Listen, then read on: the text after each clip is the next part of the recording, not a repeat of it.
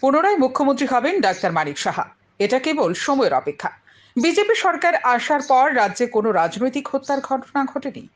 কোনো মানুষকে বঞ্চিত রাখা হয়নি। মুখ্যমন্ত্রী হিসেবে ডাক্তার মানিক সাহা রাজ্যের মানুষের জন্য ভালো কাজ করে গেছেন। উন্নয়নের জন্য কাজ করেছেন। বিলোনিয়া বিধানসভা এলাকায় বহু কাজ হয়েছে। রবিবার রাজধানী শঙ্কর চৌমুহনী এলাকায় নিজ বাসভবনে সাংবাদিক সম্মেলন করে কথা বলেন প্রাক্তন বিধায়ক অরুণ চন্দ্র ভৌমিক। দল যা ভালো মনে করেছে, সেই সিদ্ধান্ত নিয়েছে। একজন কর্মী হিসেবে আগামী দিনেও কাজ করে যেতে চান বলে জানান তিনি।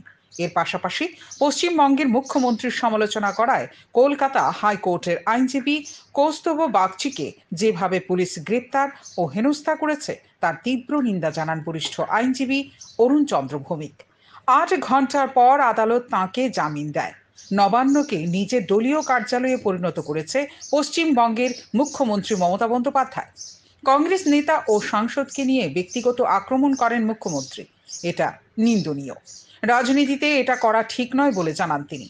এই রাজ্যেও আইনজীবীকে একটা সময় হেনস্থা ও গ্রেপ্তারের প্রতিবাদ করেছেন বলে জানান বরিষ্ঠ আইনজীবী। যে কারণে সমীর বর্মনের সরকারের পতন হয় বলে দাবি করেন আইনজীবী অরুণচন্দ্র ভৌমিক। এই করেছি। সেহেতু আমি লয়ার হিসাবে আমি এই যে ঘটনার নিন্দা করছি এবং এই যে প্রতিবাদ করেছে এ, কৌস্তব বাগ- বাগচি এইটা আমি তাকে খুব অ্যাপ্রিসিয়েট করি যে প্রতিবাদ করেছে। সে লয়ার এবং কংগ্রেস কর্মী।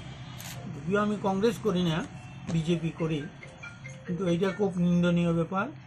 আজকে লয়ারের গায়ে হাত পড়েছে আমি আবেদন করব। আমাদের এখানে লয়ার অ্যাসোসিয়েশনও যাতে সেটার প্রতিবাদ করে।